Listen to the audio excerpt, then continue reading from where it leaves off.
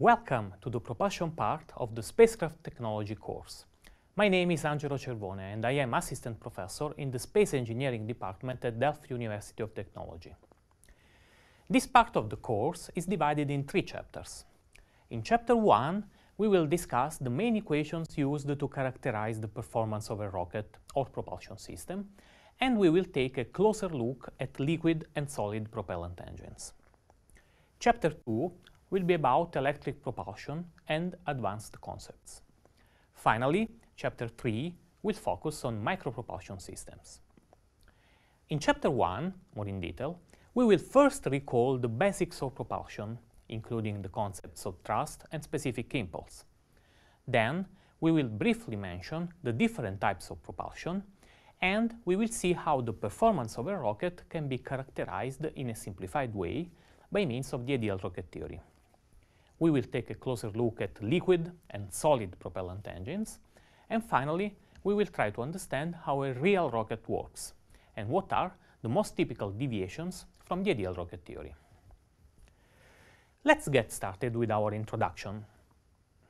Here you see a nice picture of the European rocket Ariane 5 at launch. I am sure that you have seen many pictures of big rockets similar to this one. But do you know what is exactly rocket propulsion and how does it differ from aircraft propulsion. We usually refer to rocket engines as pure reaction systems. In a rocket engine, a very large amount of fluid, or propellant, is expelled at very high speed in a direction opposite to the direction of light. Remember Newton's third law of motion. Every force is always associated to a reaction of equal magnitude and opposite direction. Thus, if the rocket pushes the propellant out, the propellant in turn pushes the rocket in the opposite direction. This is the same principle on which aircraft propulsion works. But in aircraft engines, the fluid accelerated by the engine comes from outside, while a rocket needs to bring its own propellant on board. From the Introduction to Spaceflight course, you should already be familiar with the most important performance parameters of a rocket. The thrust is simply the force produced by the rocket and is obviously measured in Newton. The specific impulse is defined as the ratio of the total impulse generated by the rocket to the total weight of propellant used to generate it. It is typically measured in seconds.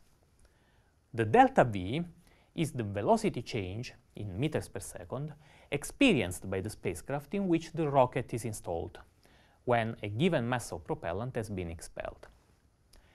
In Introduction to Spaceflight, the equations for these three performance parameters have been derived and discussed. Here they are, in a nutshell. We are not going to derive them again in this course. I will just shortly recall some of the most important aspects associated to these equations. Let's start with the rocket thrust equation. If you look at it carefully, you will notice that the thrust is a combination of two different contributions. The first one is what we call momentum term. This is the force generated by the actual momentum exchange between propellant and rocket. This term is proportional to the mass flow rate of propellant and to the velocity at which the propellant is expelled, or jet velocity. The second contribution is called pressure term. This term is generated by the difference between the pressure at which the propellant is expelled from the rocket exit section and the surrounding ambient pressure. Let's take a closer look at the pressure term. It is clear that this term is a function of the ambient pressure and thus the altitude at which the rocket is flying. Maximum thrust will be achieved in vacuum where ambient pressure is zero. In many cases, the pressure term is much smaller than the momentum term and can be neglected. However, this is not always true. The pressure term can be significant in big rockets flying at low altitudes. Take a look at this example, showing the thrust of a space shuttle main engine as a function of altitude. You can clearly see that the thrust is practically constant at altitudes higher than 25 kilometers, but decreases significantly at lower altitudes. In order to simplify the thrust equation, we can define an equivalent or effective jet velocity.